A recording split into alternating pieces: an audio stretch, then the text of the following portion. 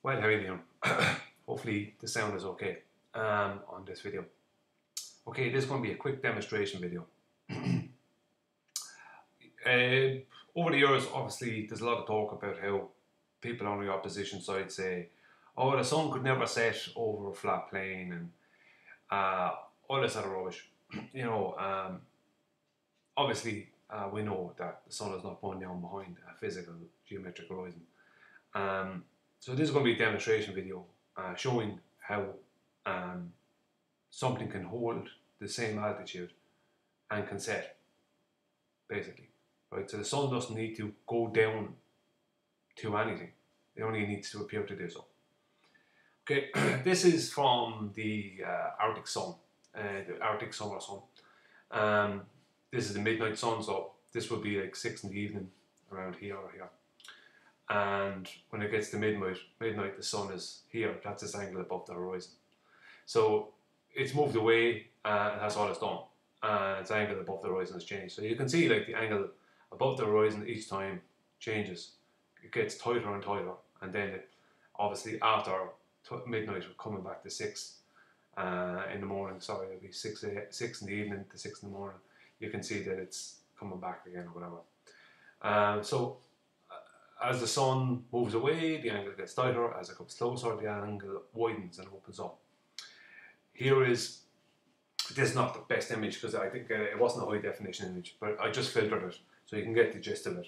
So same thing happening here. The sun time lapse. It's an older time lapse, but it's just uh, it's a good one because uh, it shows basically the sun just moving in a straight line towards the horizon. Well, really, all it's doing is, is these are all angles, aren't they? You know, between the sun and the horizon. Um, here's another one from the Arctic sun, or the Arctic summer, uh, midnight sun.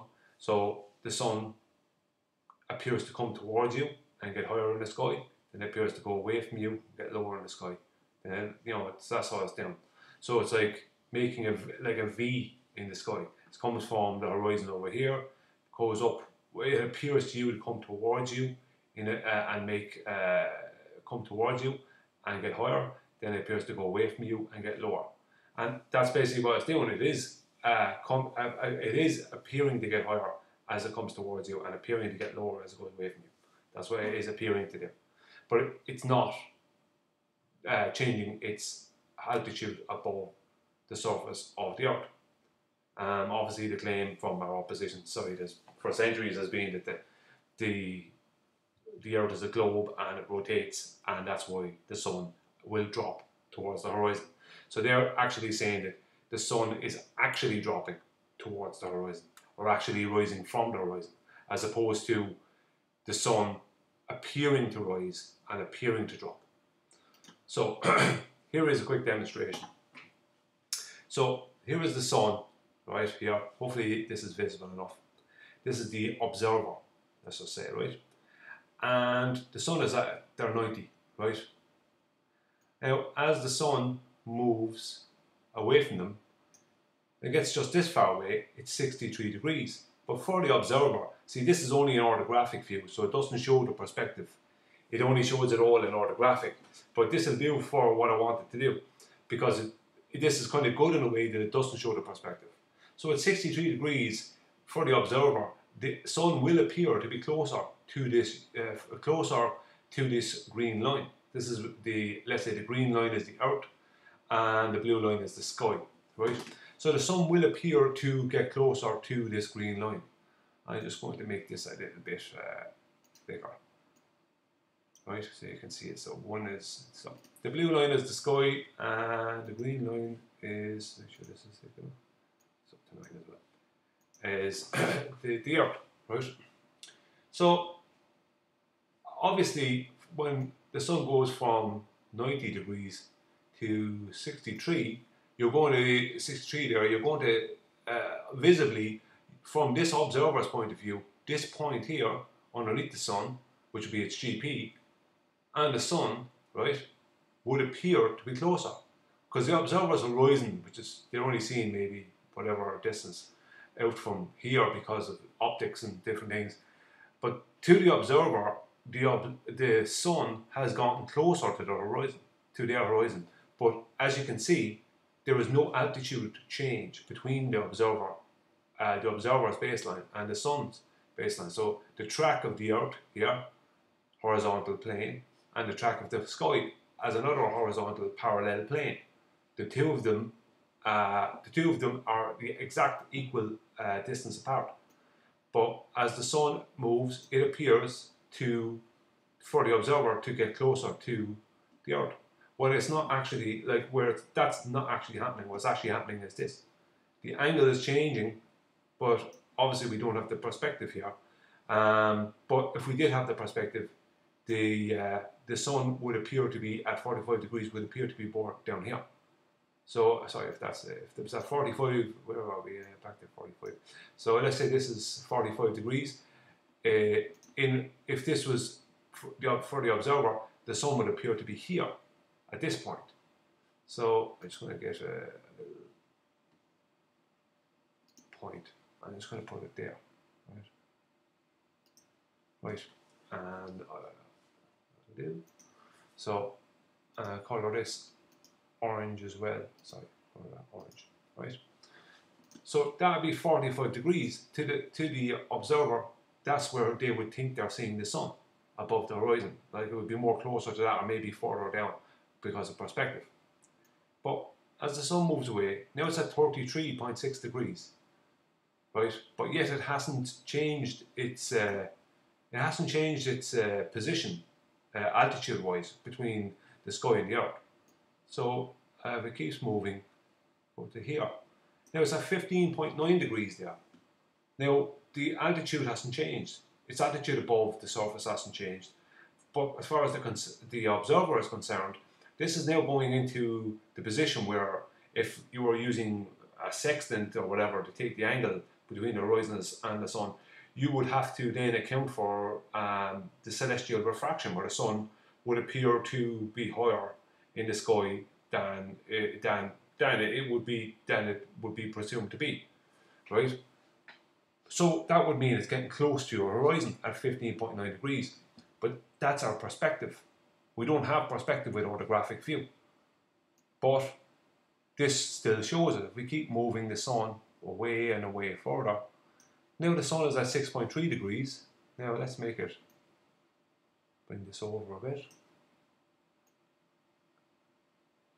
And we keep moving it.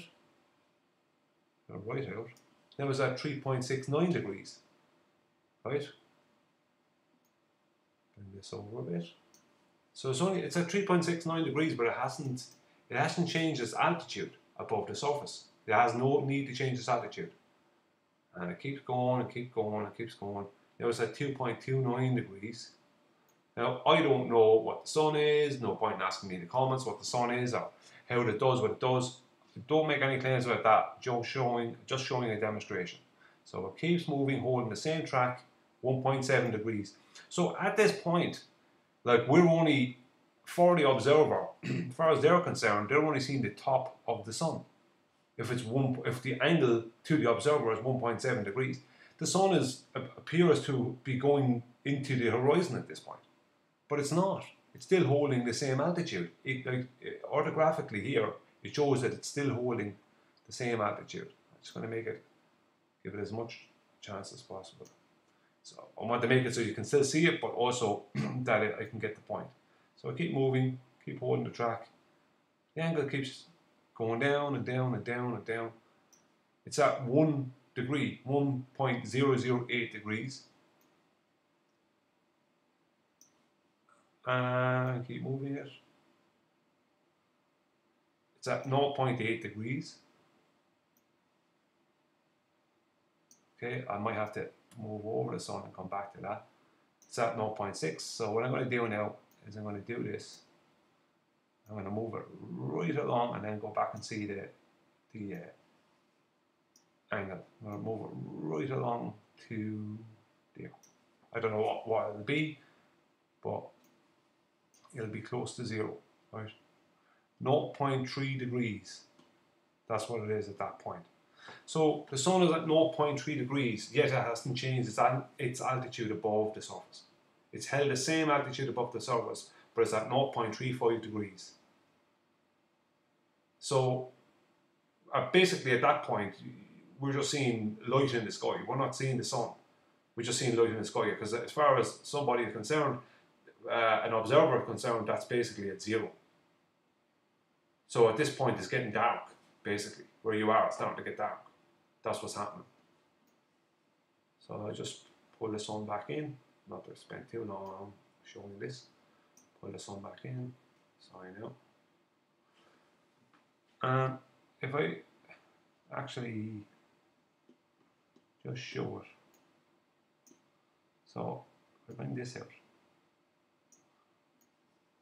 I actually no, I'll go back there. That's the right thing to do.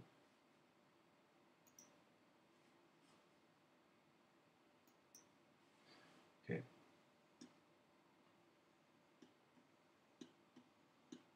This bigger.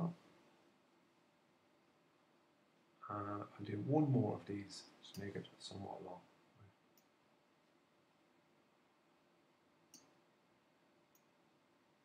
Put the whole thing along, which will change the angle back there. I don't know what height the sun is, don't know any of that nonsense. I just know that I don't know how it does what it does. I just know that this is a demonstration that proves all those claims over the years completely wrong. 0.27 degrees. So there you go, 0.27 degrees. I just I don't have enough screen space to show it because it keeps getting smaller. Because if we zoom out, right, try and zoom out and show the whole thing. As you can see, those two lines are appearing to amalgamate.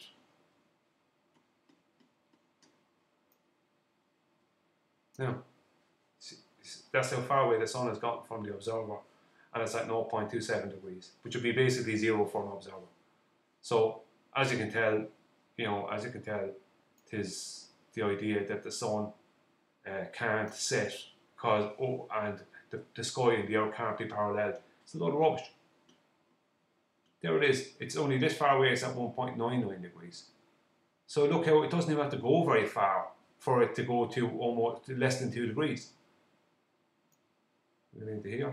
At 3.97 degrees. 3.97 degrees, as far as you're concerned, the sun is the sun is basically setting.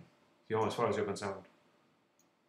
And even if it's this far away, it's at 7.5 degrees. You know, so it's all nonsense. This this claim that the sun has to go down or up. It's not going down. It's not going up. It's holding the same track. It's doing what it's doing. It's just getting further away, as we said. When it's all the way out there, you know, even when, watch, even when it gets to here, it's at 1.33 degrees. It's basically, you know, it's so like basically what you're looking at there is the last bit of light coming from the sun. Um, basically, the sun appears to be going into the horizon and uh, starting to get dark behind you. That's basically what's going on at this, this, this distance away. Let's just say, whatever that is. So, this claim that, that the sun can't set or whatever over horizontal plane, or that the, the claim that the sky and the earth can't be two horizontal planes uh, it, that's a of rubbish. Look, I don't know height the sun is at, don't know height the sky is, or any other nonsense like that. But there you go. There's a there's a that's without perspective, showing you exactly how easy it is for the angles to change. That and that's with without perspective. With perspective, the sun at this point would appear to be halfway or further into the horizon, but it's not really. It's just moved further away. The sun is out. So what's after doing is yeah, it's after moving in sky miles. Yeah, minutes of degree across the, across the, they're sky miles, minutes of degree. See then, that's sky miles. A lot of people like to go on to me about that term, sky miles that I used. Yeah, there you go, sky miles. Minutes of degree, sky miles. That are then converted into nautical miles along the surface. They are then converted into statute. There you go.